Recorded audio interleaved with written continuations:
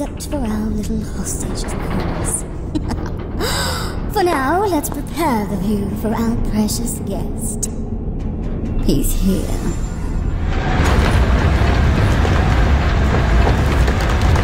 Seems like you were betrayed by your own allies. Such a sorry trap. I don't need to convince you by words.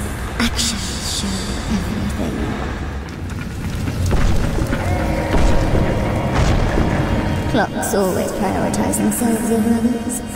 And yet, you decided to trust them anyway.